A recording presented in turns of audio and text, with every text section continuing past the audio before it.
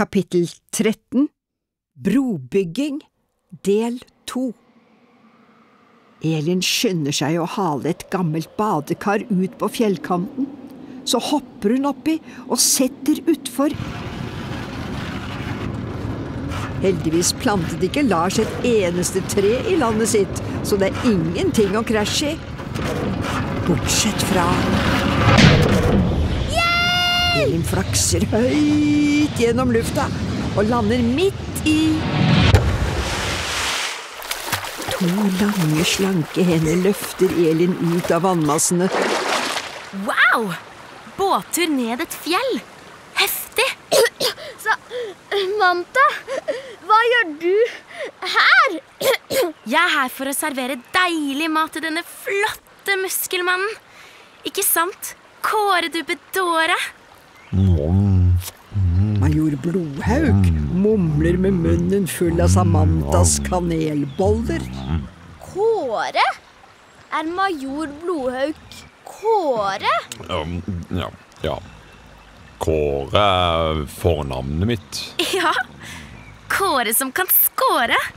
Mm, jeg bare elsker bollene dine, Samantha. Bare vent til du får smake mine lekre, kremfylte, faste lavensboller. Elin hører at noen snorker. Hun snur seg og oppdager at dragen ligger midt i elven. Hva er det dragen gjør i elven?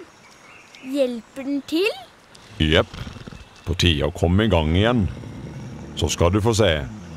Det her var guttungens idé. Den fire meter høye ekssoldaten tar med seg et lass med brostein, vasser ut i elven og fordeler steinene utover dragens rygg. Dragen letter litt på hodet som hviler på en stor stein, og mumler. Deilig. En liten massasje. Dragens rygg er perfekt som form for bro. Og når alle steinene er på plass, vil broa stå av seg sjøl.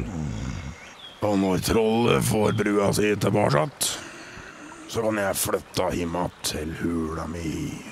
Ja, smart gutt han der, Lars. Og det var Lars som fikk meg til å komme hit med mat til major Kåre. Veldig, veldig lurt. Ikke sant, Sukkerklumpen? Hva tenkte Lars på alt dette?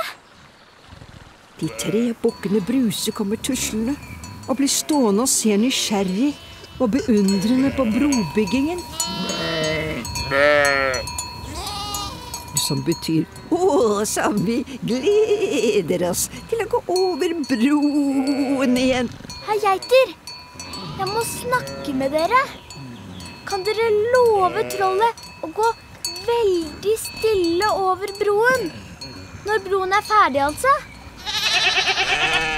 Svarer geitene og begynner å spise skolissene til Elin. Hei, vent nå litt. Skjønner dere? Gå stille på tå, OK? Bråket fra geitene får dragen til å våkne. Jeg skjønner ikke noe. Du trenger noen som prater geit. Enhjørningen snakker geit. Men hvor er enhjørningen? Har noen av dere sett ham? Nei, men jeg tipper at han er på deg søtsures kafé. Han virker som typen til det. De søtsures kafé? Den har ikke jeg laget. Hvor ligger den? Et stykke nedi elva. Bare fem minutter å fly. Men jeg kan ikke fly, og jeg har dårlig tid. Lars holder på å bli trollgrøt. Bruk båten din, da vel.